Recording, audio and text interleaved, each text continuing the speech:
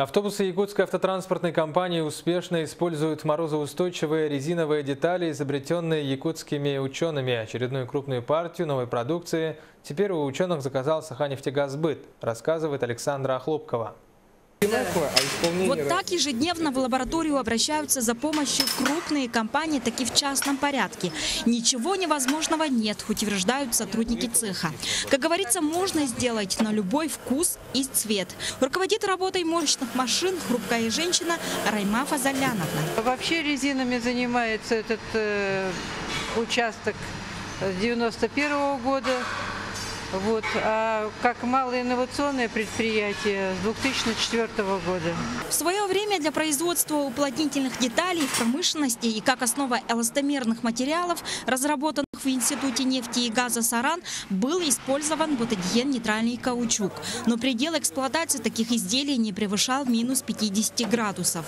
Альтернативу придумали недавно, которая обладает уникальной морозостойкостью, не имеет аналогов в мире. Такие резиновые детали могут прослужить до минус 74 градусов в течение двух лет.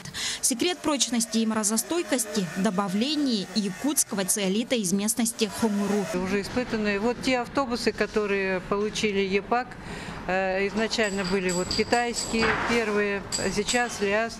Мы все, ну, очень много деталей резиновых, которые э, выходят из строя в наше зимнее время, мы их заменяем вот на наши на нашу продукцию. У нас направления очень разнообразные. Везде, где есть э, резиновые уплотнения или силовые резиновые детали, пожалуйста, начиная от пищевой промышленности до горнодобывающей. И с предприятиями Алма, Ал, э, Алроса мы работаем, и с предприятиями пищевой промышленности города и области работаем. Совсем скоро институт закупит новые пресс-машины для изготовления резиновых деталей. С внедрением нового оборудования малое инновационное предприятие готово выйти на новый уровень, усовершенствовать и увеличить производство. Александра Хлопкова, Юрий Филиппов, НВК «Саха», Якутск.